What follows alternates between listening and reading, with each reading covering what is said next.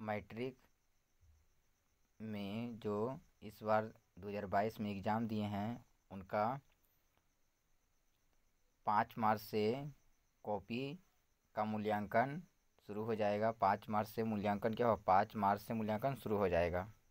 और इस इंटर वाला का बात किया जाए, पहले मैट्रिक का बढ़िया से देख लीजिए। करा बिहार बोर्ड ने परीक्षा गुरुवार को समाप्त हो गया था। उसने कहा कि मैट्रिक का मूल्यांकन पाँच मार्च से शुरू होकर सत्रह मार्च तक चलेगा। मतलब इसका जो मूल्यांकन है वो पाँच मार्च से शुरू होगा और कहाँ तक चलेगा? सत्रह मार्च तक चलेगा। तो परीक्षकों को नियुक्ति पत्र मार्च के पहले सप्ताह में ईमेल पर भेज दिया जाएगा। और इंटर का देखिए, इंटर का मूल्यांकन छब्बीस मार्च से आठ मार्च तक चलेगा।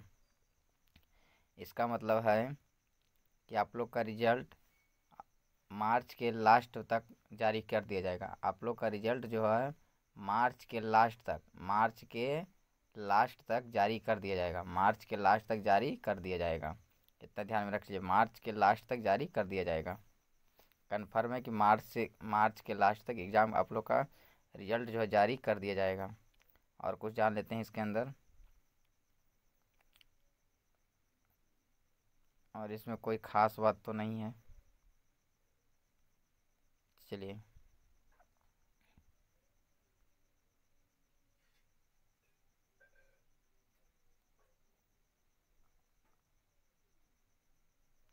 यह देखिए हिंदुस्तान हिंदुस्तान। और यह न्यूज़ जो है हिंदुस्तान में है, किसमें? हिंदुस्तान में